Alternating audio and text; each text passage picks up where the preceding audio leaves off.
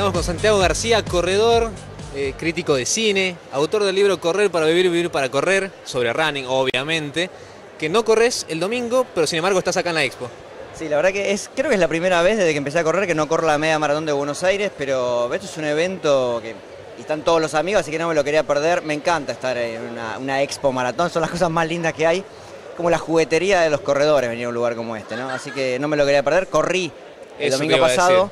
La media maratón de Montevideo, por eso no puedo correr esta. Y aparte porque apunto ahora a ir a Berlín a fin de mes. ¿Y cuánto tiempo hiciste en Montevideo? Montevideo uno, una hora 26. Fue una carrera un poco dura porque tenía muchas subidas, este, complicada para bajar tiempos de calle.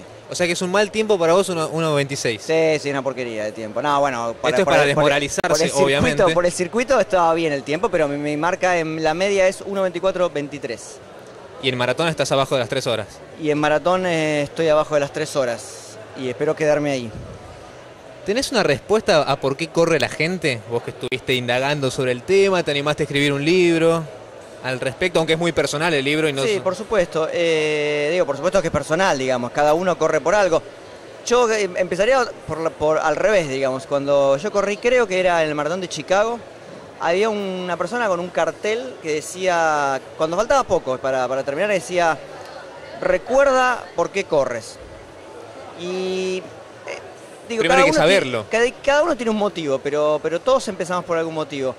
Yo creo que uno corre, me parece, como, como, como con cualquier cosa de la vida. Uno corre para encontrarse a sí mismo, para encontrar alguna respuesta, eh, para hallar una respuesta a lo que uno hace, a, a- a por qué uno vive, digamos. Pero hoy estaba pensando que eh, la realidad es que ahora nosotros estamos con este fenómeno del running buscando algo muy diferente a lo que en otra época era la cultura sana o la cultura light o la idea de lo estético, ¿no? Había una época en que había que estar flaco, había que Sí. comer eh, sano y había que hacerlo porque había que hacerlo.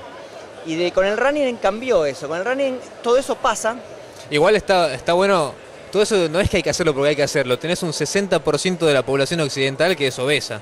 Claro, y ahora, ahora con el running lo que la gente quiere es superarse. Lo bueno es que antes la gente decía, bueno, voy a hacer una dieta y estaba de mal humor. Sí. O no voy a trasnochar. Y no sabía por qué. Era como un mandato que no terminaban de entender. Ahora con el running la gente lo hace porque quiere mejorar sus marcas.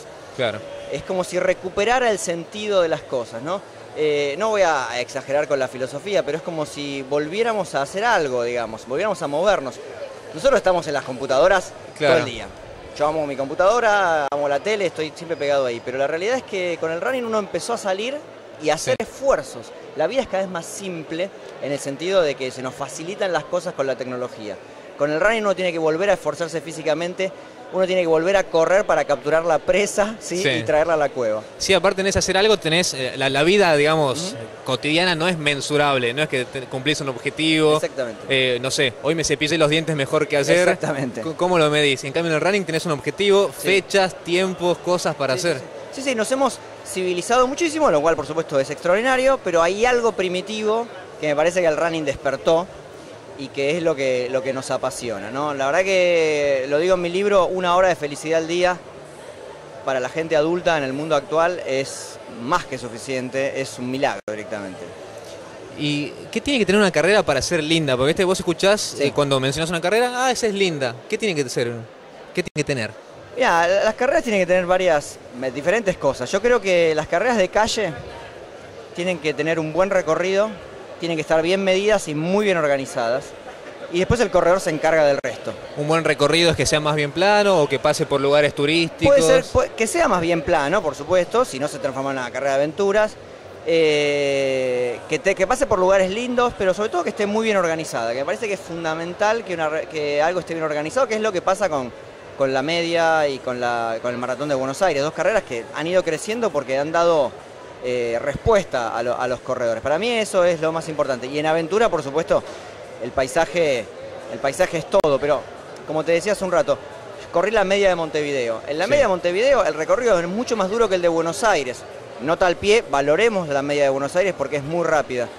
Pero correr por la rambla de Montevideo es hermoso. Así que creo que en eso justifica, justifica el haber estado ahí, pero con creces. Estamos hablando de una media maratón que va a ser en dos días y Santiago corrió hoy más que la distancia de la media maratón. Sí, hoy me tocó hacer el fondo de 32 kilómetros, ya palpitando las últimas semanas antes de Berlín, así que hoy tuve que correr 32 kilómetros. Y una cosa típica de, de cuando uno hace un fondo tan largo, en teoría solo, ¿no? Nosotros corremos los, Sí. en mi running team los fondos los domingos, pero hoy me tocó salir solo. Me crucé con cuatro personas del running team. Corrí con algunas algún Sí, sí. kilómetro y otras simplemente pasaban de su día laboral, digamos, ¿no? Claro.